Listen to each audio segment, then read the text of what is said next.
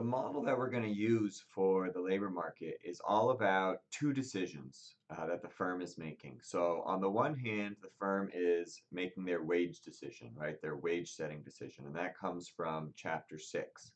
And so firms are basically deciding, all right, how much do I have to pay workers in order to get them to provide the uh, profit maximizing level of effort um, because we can't write these complete contracts, right? So we have these incomplete contracts.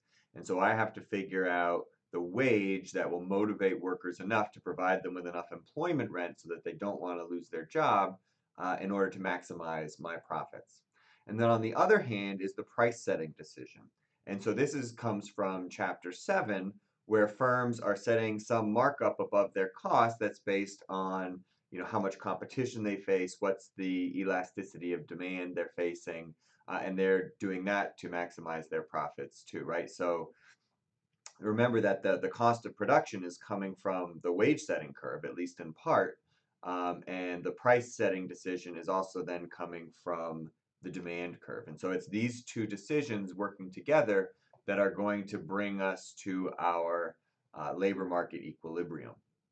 So one of the most important things to realize here is that what's important is the real wage. And so this is going to be important both for firms, right? What they care about is really how much they have to pay uh, workers in comparison to the price level.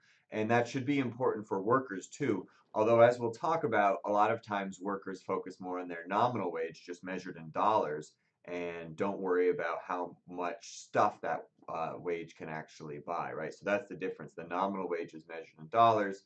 The real wage is measured in, in goods. Um, and so each firm is deciding on its price, its wage, and how many people to hire. And then, you know, adding all of those up across the economy gives us total employment and the real wage, right? Because that price uh, in the bottom of the real wage is not just one firm's price, but it's uh, the average price of all goods and services in the economy that firms are charging.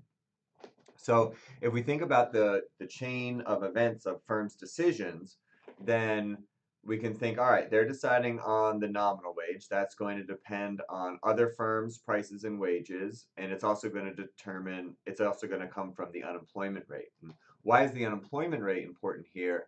It's because, remember, the unemployment rate uh, influences how much employment rent workers get because when the unemployment rate is high, it's going to be harder to find a new job if you lose the one you have. So your employment rent is higher. Whereas when the unemployment rate is really low, it's going to be much easier to find a new job if you lose your own. And so the employment rent is lower. And so firms are going to have to pay a higher wage uh, when the unemployment rate is lower and a lower wage when the unemployment rate is higher.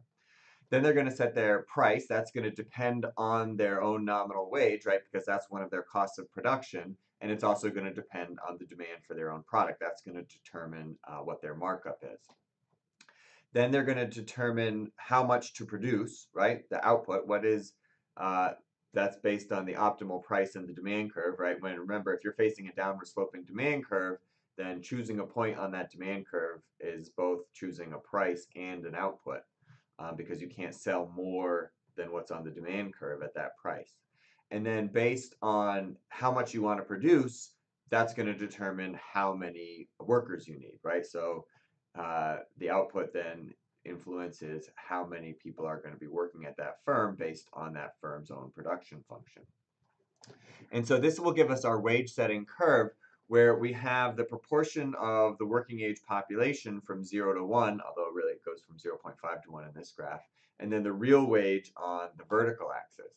And it's the real wage necessary at each uh, employment level or unemployment level uh, to get workers to work hard and well. Now, so this is a little bit tricky graph because it's employment is going from left to right and unemployment is going from right to left. And so, you know, if we're here at a, a high wage, then that's a low unemployment rate, right? That says it's an unemployment rate of 5%. If we're here at a lower real wage, that's an unemployment rate of 12%. And remember, the reason that we can do that is that uh, the employment rent is higher when the unemployment rate is 12%, so you don't have to pay as much uh, to workers, whereas the employment rent is lower uh, when the unemployment rate is uh, is lower because it's easier to find a new job, so you have to pay more in order to get workers uh, to work hard. So how do we get there? Well, it's really just from the best response function, right? The best response function shifts when the unemployment rate changes. So it shifts to the right for a lower unemployment rate, it shifts to the left for a higher unemployment rate, and that determines uh, the wage that will be paid. And so you can see at a higher unemployment rate at point A, this point A corresponds to this point A in the wage setting curve. And then similarly, point B in the uh, shifted right best response function with the lower unemployment rate corresponds to this point B in the wage setting curve. So this is a, an estimated wage curve from US data going from 1979 to 2013 it basically takes a weighted average of lots of different places in the country. It adjusts for inflation. So this is based on uh, 2013 dollars. And you can see that uh, the unemployment rate, just to match our model, goes from zero on the right to 20% on the left. We've never had a national unemployment rate uh, of 20% in this time frame. The highest it's been nationally was about 11% in the early 1980s. Um, but locally, we've had higher unemployment rates, so we can estimate that. Um, and you can see we get this upward sloping wage setting curve just like in the model. So that, that gives us a little more confidence that this might be a reasonable model to be using. So remember how firms come up with their profit maximizing price. The optimal price depends uh, on demand elasticity and the point on the demand curve that maximizes uh, profits. And so if we are at point B, right, and we're selling at point, uh, we're selling at price P star and we're producing at Q star, and the wage is W, then workers are getting this amount. That's the wage bill, this rectangle here, W times Q star.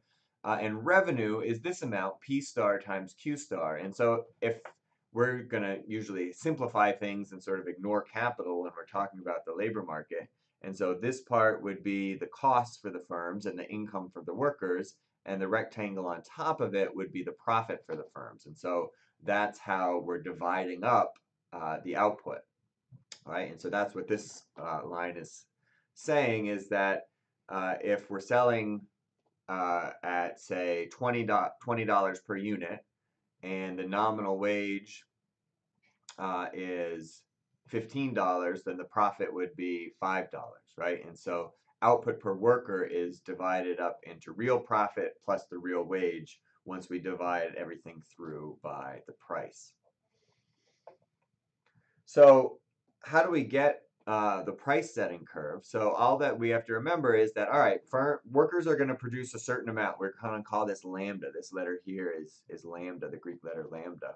And that's going to depend on technology and the production function of the firm. And then there's going to be some wage, right? And so if we take the nominal wage, capital W, and divide it by the price level, we get the real wage, which will usually be a, a little w. And so workers are producing this much. They're getting paid this much, which means that uh, firms are earning a profit of the difference there. So the way we look at this price setting curve is to think about, all right, well, we have this wage coming from uh, the demand curve and the wage setting curve, and that gives us our, our price setting curve, right? This is the place that will maximize profits for firms.